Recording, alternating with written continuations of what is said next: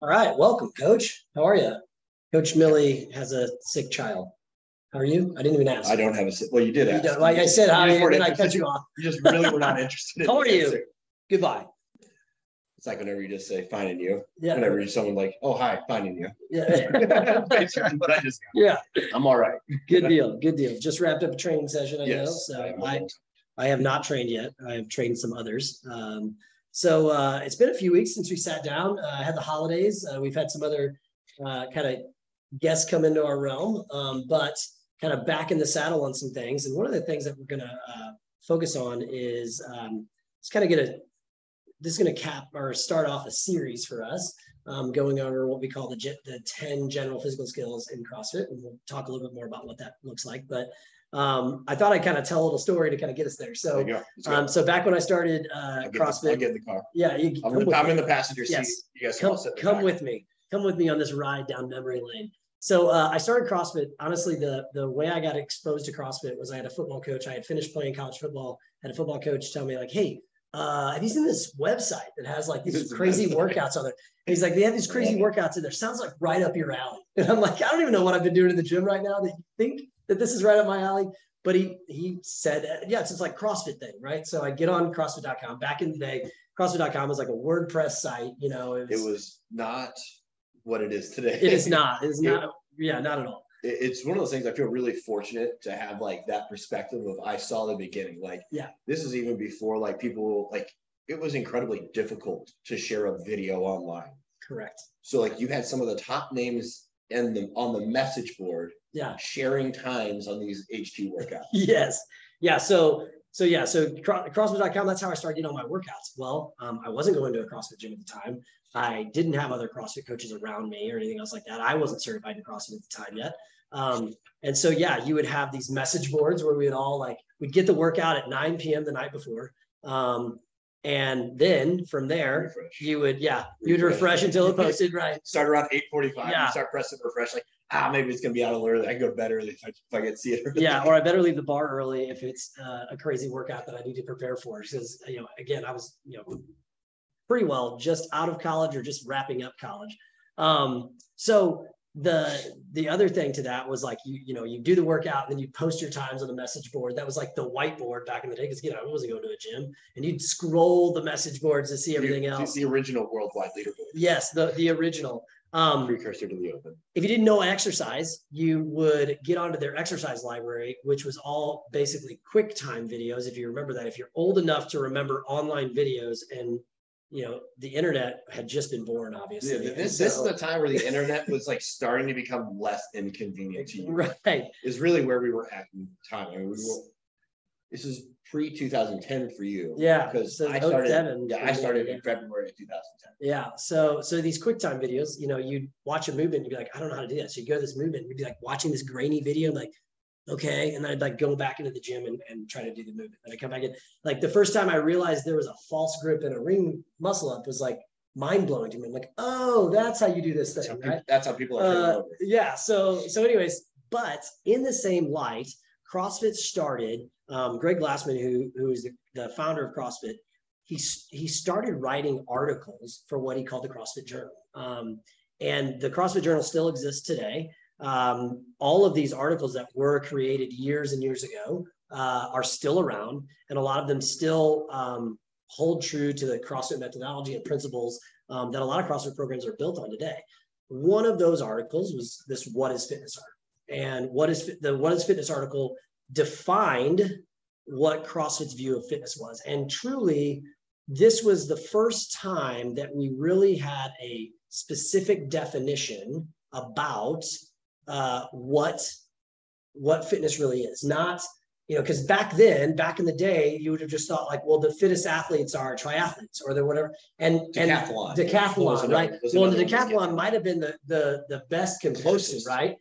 But There's really only three events in a decathlon. They just do it tender and they do the same like few things. Sure. of course. and but Glassman really came down to it and said, listen, if I'm looking for overall general fitness, okay, then my my approach to this is then there should be these categories or what he deemed these general physical skills that if you are are you if you're capable or your capacity in those those those 10 physical skills Quantifies your fitness. yes absolutely and so so these 10 physical skills um, got got published in this what is fitness article and what they are they're cardiorespiratory endurance stamina strength flexibility power coordination agility balance and accuracy. That's a lot okay?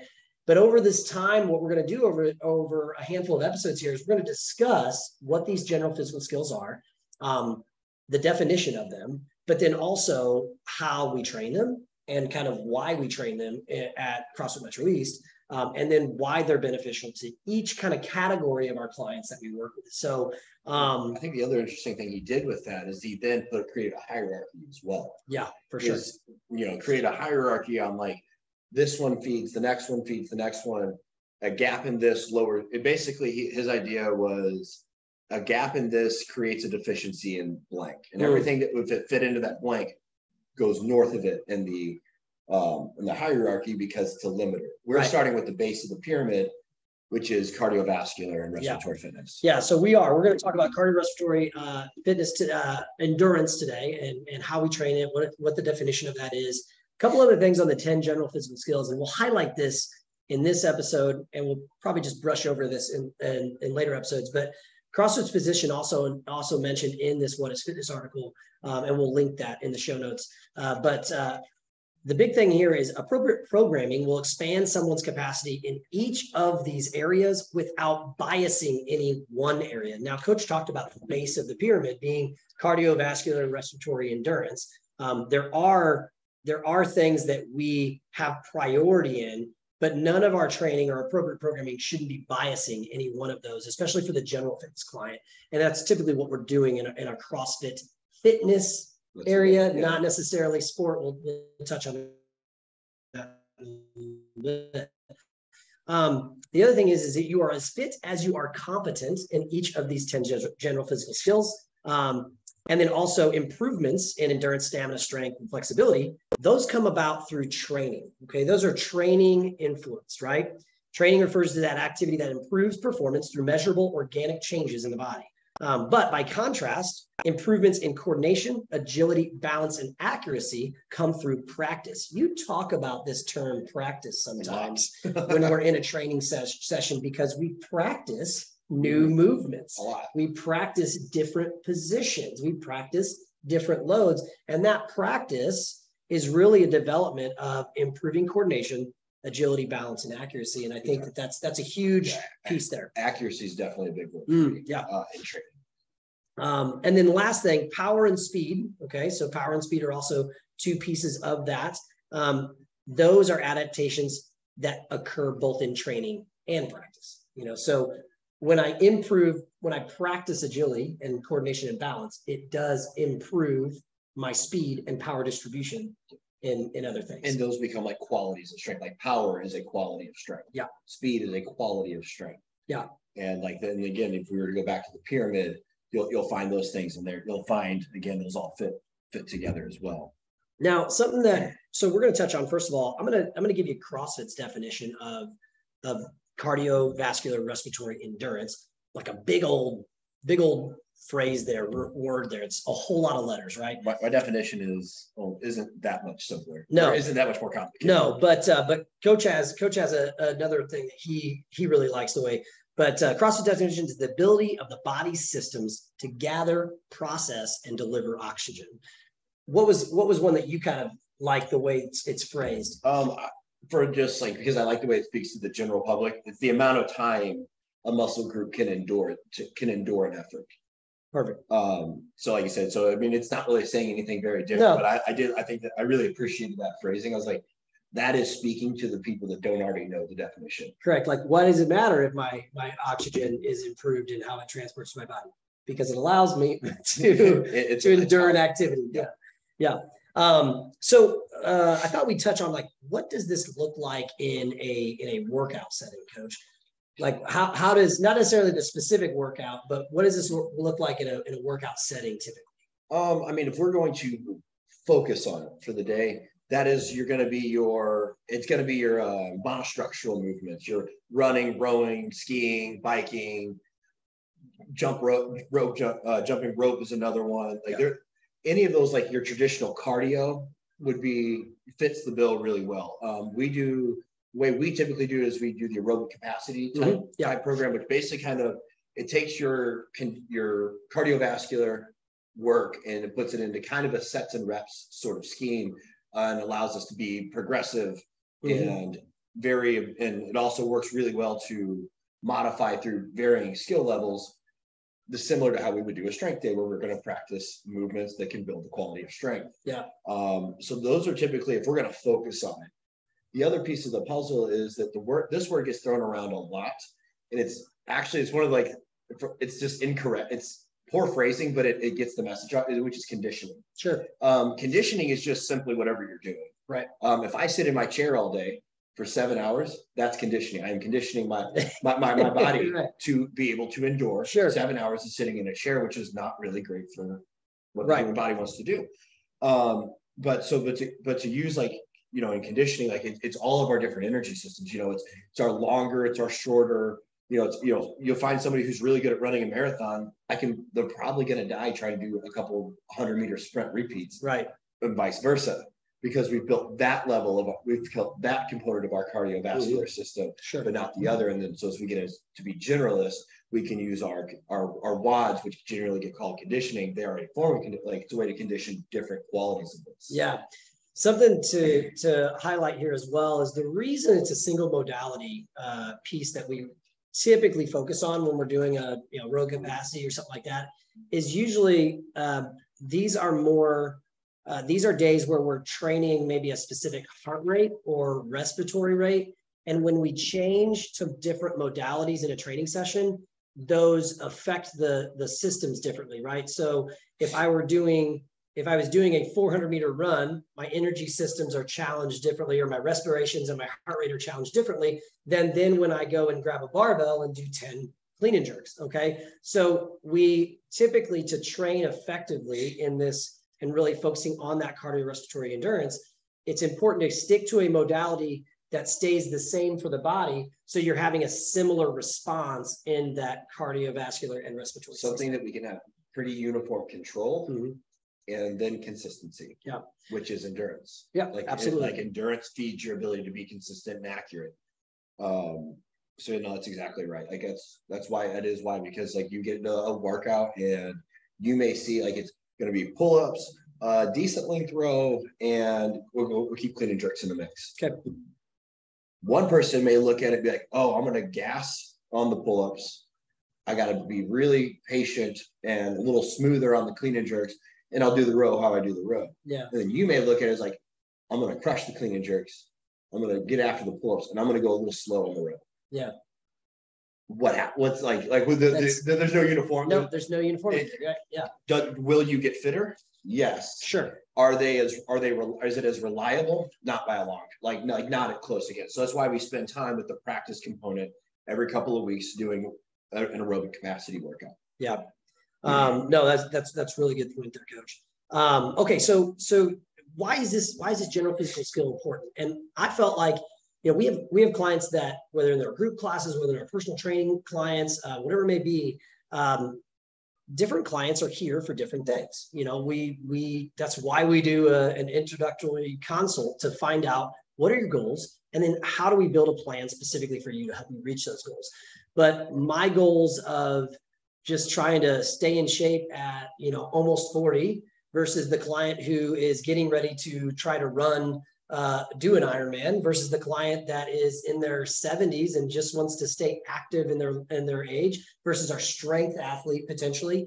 All of us have different goals. So I thought, you know, there's probably three categories though of our clients that we work with.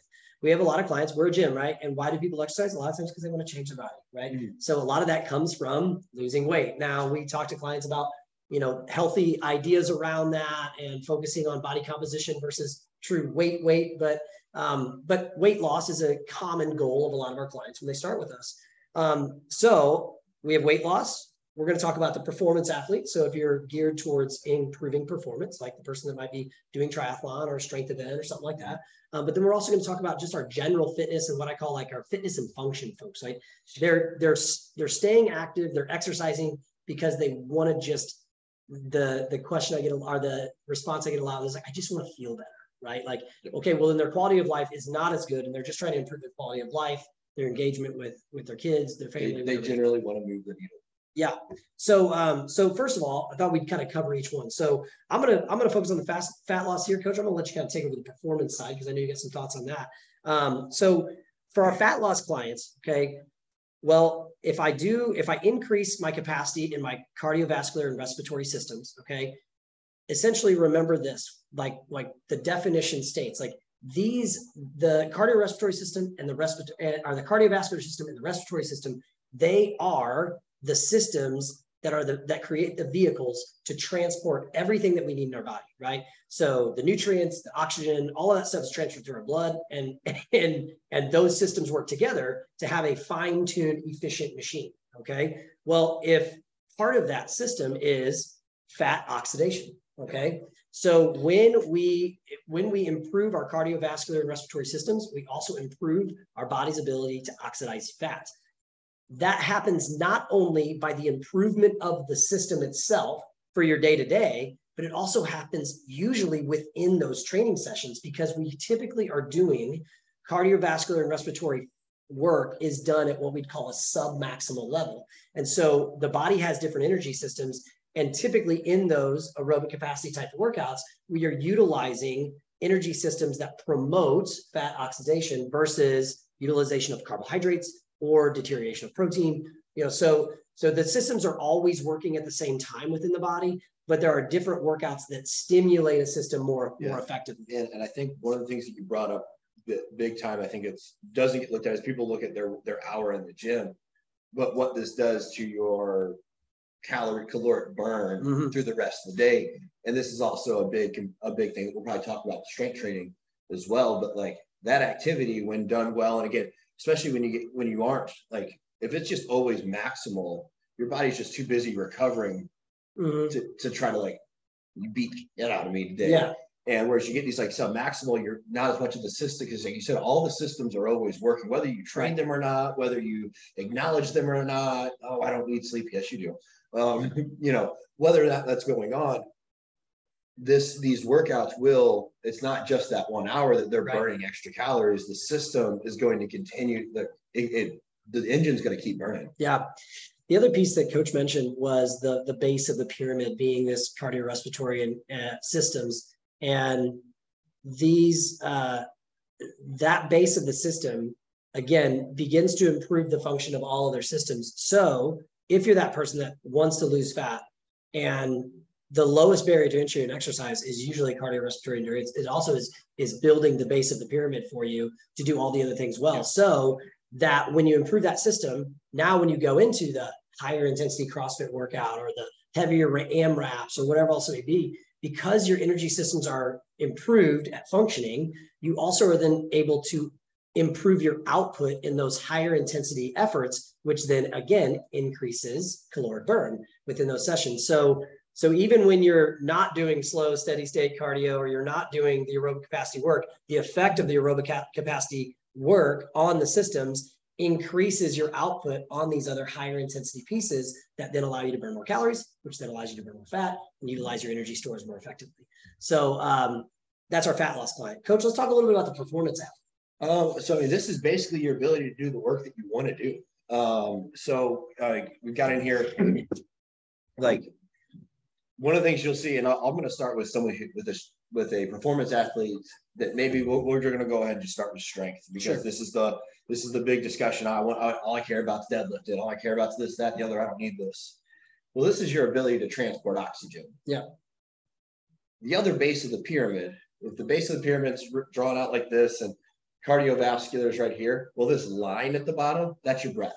That's mm-hmm. your ability to transport oxygen, and there is nothing that will limit you faster than inefficiency there. Sure. So plain and simple, if you don't have any base here, you're not your, your ability to perform it like what your body's actually capable of does not exist. Mm-hmm. You you lack that basic proficiency right um, right there. And then the other piece of the big puzzle for all whether or not you're, you're like big time endurance athletes like triathlon and all that, you know, or again, we want to power lift, we want to throw Highland games, whatever it is, it's your recovery between makes a big difference. Um, but like plain and simple, you want to train for an hour, you have to be able to work for an hour. Right. You if you're going and we don't have that base, well, what's the best way to the best way to build it is going to be the lowest barrier to entry. Right. That's that steady state cardio. That's that spending some time on the bike. You know, even again, if, even if you're a powerlifter, you know, you're a bigger guy, yeah, go with something a little bit lower impact. Doesn't mean we all have to run. Right. That's the big issue. Everybody thinks cardio, I have to run. Yeah. And you know, some of like the fighters I've been working with, it's the same thing. I'm like, guys, you don't have to run. Mm-hmm. We've got this rower, we've got the skier. This can be way easier on the joints for what you're trying to yeah. do. And we can build that base. And again, a lot of these are especially if you're getting into the machines, there are, there's some amount power output bias. Yep. The rower, the bike, the skier, all your Concept2 machines are power machines. Yep. They build a lot of cardiovascular, but so again, it's your ability to repeat your effort. Again, we're back to do you want to train for do you want to have the ability to truly train hard for an hour mm-hmm. or are you in the gym for an hour and a half because it takes you seven minutes between sets to recover yeah like you become wildly inefficient in your training um, and then you show up on meet day and you don't have, you know, for powerlifting, you've got nine big lifts you have to do. Well, they're going to be spread out. You have to have that ability. You have to have the recoverability. You have to have the ability to turn it back on. But you have to have all those skills. Like I can definitely say, like I remember my very first Highland game after my amputation, and I did not have the cardiovascular base at this point. Like I just hadn't built it to throw all, to throw for five hours. Mm-hmm. You know, I just wanted to get back out on the field and feel whether or not I wanted to do more of it um, the group I was in, they just kept taking breaks in between. And I, because I didn't have that base, I just ran out of gas. Like I just ran out of power. I didn't lose proficiency. I did my worst on my best events because they were the my last ones. Yeah. And had I had a better cardiovascular base, I would have had a better time with that game.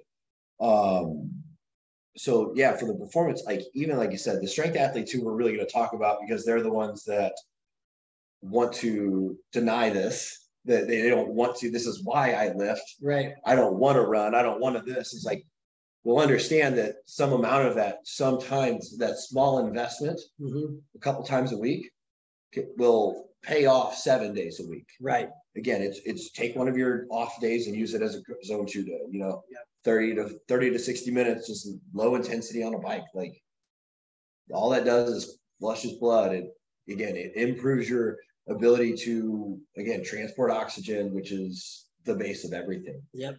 Um, it's it's one of those things that in 2023 it shocks me that we're still having the conversation. yeah. Um, but yeah, like cardiovascular system is an absolute must for anyone trying to maximize any one of our 10 physical skills. Yep. Like if you want to move into that more specialized, you know, re, you know, regardless if you want to specialize by 1%, I'm going to do CrossFit, but you know what, I want to do a I want to I want to do a little bit of extra strength programming. Mm-hmm. Yes, that's a form of specialization, but it's very minimal. Right. Whether or not you're doing that minimal to the maximal, like I'm going to be a lifter and that's it. All of these get in like any of these 10 skills will be positively affected by this. Absolutely. Yeah. And that's why it's at the base of the pyramid. Um, so uh, that was really great. And and again, I uh, you know, I know we hit, hit on the, the the strength athlete just to be able to do the work um, but uh, even those those folks, I'll, I'll touch on the CrossFit athlete because I hear it a lot. I, I yeah yeah but, yeah super miss there. Yeah. yeah no that's okay. But the CrossFit athlete, I mean, the person that like always feels like they they want to hit Metcon Metcon Metcon, and we'll talk about metabolic conditioning. I know that's a phrase that like we would argue that everything's metabolic conditioning. Okay, but I understand that your yeah. language you you vibe with using Metcon using language. The vernac- using yes. the vernacular. So that being said, is that you know, we're doing 21, 15 nines and we're doing, you know, 10 minute AMRAPs and we're doing seven minutes of this and, you know, like, and you guys are hitting all this volume in what we would call classic CrossFit training. But the reality is, is that if your energy systems and your cardio, your cardiovascular and your respiratory systems are not trained or not improved in that baseline work,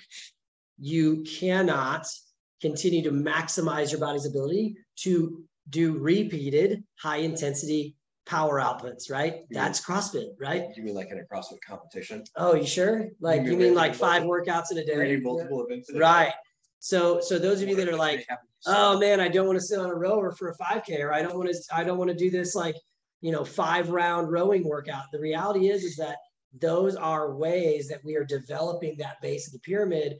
And if you don't have that, you will have a gap in all the other things that you're trying to do in CrossFit, the sport or pro or classic CrossFit workout. Shrink so, the base of the pyramid, shrink the peak. Yeah.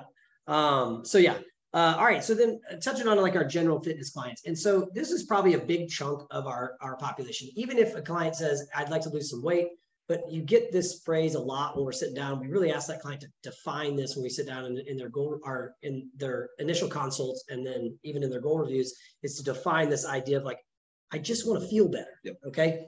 So what that really means is that person they want to they want to improve their quality of life in one way, shape, or form.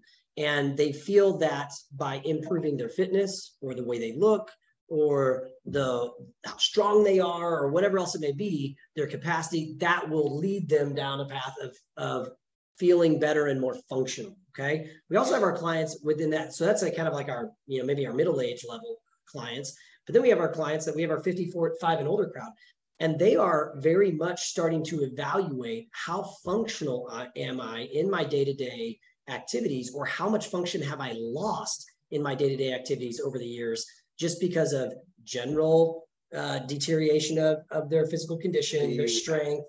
The, the belief that aging aging is just a thing that happens to you is going away. Yeah, people are seeing enough examples being a hockey fan. This thing is this story right here is incredible. Jaromir Jagr is one of my absolute favorite players growing up as a kid. Like I'm talking like when I was five. I'm 33 right now.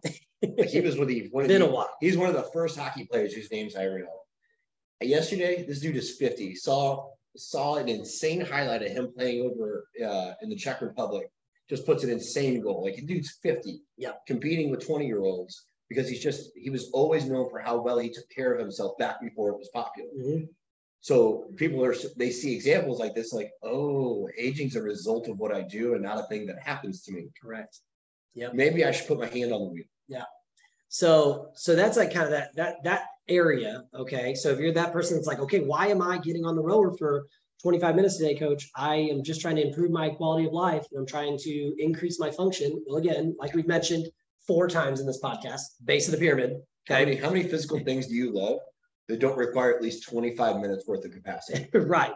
So so there, therefore, when we think about this, first of all, it's it's prevention, right? So when we increase our cardiovascular and respiratory systems, we prevent chronic diseases such as coronary artery disease, uh, hypertension, that's high blood pressure, uh, diabetes, um, metabolic syndrome, okay, and then also dementia. Right? Those are those are some five majors there. I can Six, think of five. very few things that have motivated a client more than a pre-diabetes um, appointment with their doctor. Yeah, I can think of very few things that have been more motivating to a client to figure it out, get it done. Mm-hmm it's just a like just the human condition. Yeah. Too too too bad we too bad we need that. I had a lady come into t- today, just walked in off the street. She's like, I just found out that my blood sugar's high and I need to do something about it. Like um, the lady might have needed to do something about it 20 years ago. She's 70, by the way. Um, might have needed to do something about it 20 years ago, but the reality is that she didn't have enough stimulate that that trigger for her, and then all of a sudden high, you know, high blood sugar or pre-diabetic, but you know, all of a sudden those those words come out and it's like, oh my gosh, I gotta do something. So so, so that yeah, so that's one thing. But then as you think about increasing function or or improving your quality of life, here's something that again people don't realize, but they will say that like increased functional capacity and ability to stay active longer, right? Like that's that's what we're talking about here. Well, when the heart and the lungs work more efficiently, it makes physical activity easier to on us to do, right? So, like Coach said, having just the capacity to do whatever it is you want to do, like that's extremely important. That matters by how well your heart performs, how well your lungs perform. All of that starts right there. So, if things are easier on our heart and lungs, we, our bodies, and us for, as people will be more willing to continue to stay active.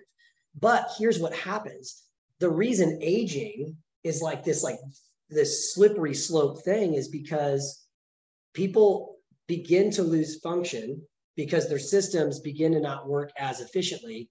And then their systems begin to work less efficiently because they're not as functional and not as active. You know it's like they're getting less input they're going, yeah like so so the human body just does not stay static Yeah. The, the human body is in motion. You are always moving back and forth. And for the most part, it's small fluctuations.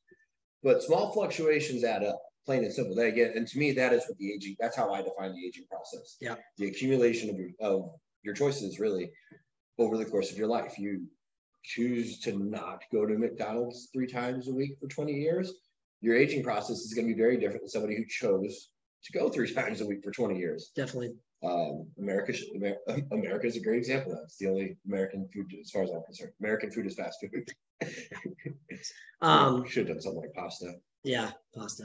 So, so yeah. So, anyways, you know that is that's really important. But the the key there is from a functional capacity person, from a general fitness person. If your heart and lungs have to work harder, naturally, as we age, we will become more sedentary and by improving that cardiorespiratory system, we are we are helping combat that. Okay, then, to help you stay active. Let me just get into more and more why the general physical skills are important because a lot of these feed that. Mm-hmm. Yeah, if you're if you're very weak, you, you, lack strength. Your heart also has to work hard. Like, and again, you can we can go through this list and explain why a deficiency in one makes the heart work harder. Yep. That your heart's going to beat as many times as it's going to beat. Yep. Uh, I, I there is a number out there like we, we don't know what that number is, but that number exists for all of us. Just like my car is only going to turn on so many times. Yeah. Like at a certain point, it's just not going to turn over anymore, no matter how well I take care of it. For sure. So the better we take care of it, the less of it we have, the less we have to spend early on. Yeah, that's a good point. So, so yeah, so if you know this appeals to you, maybe you start to understand well, one, why these things might be programmed, but two, like why it's important to make sure that you you go you do workouts like this. And if you're someone that's not in a gym like it starts with walking right? It's it's the lowest barrier to entry when it comes to cardiorespiratory endurance. Um, it starts with walking uh, and that's free. I, I, last i checked at least. We were okay. It, it, we haven't charged anybody you, for walking. you don't even have, you don't even have shoes. Yeah I, that's what i heard. So um, you don't even have to be at a gym and you should always walk everyone should be walking like that. Like that's not like there are things that people do as a beginner and then then like, oh, I don't need to do this anymore. Walking is not one of those things. Um, walking is oh, that's everyone's job. Everyone should be going on walks because we don't live in a world that forces most of us to walk around. Yep. It's the number one thing I recommend to somebody if they tell me, uh, like, what should I be doing to in, improve my health? That's my um, answer to I want to feel better. I yeah. I start there. Do you walk? Yeah. Go for walks. Uh, drink more water get more sleep. All three free activities. Look at um.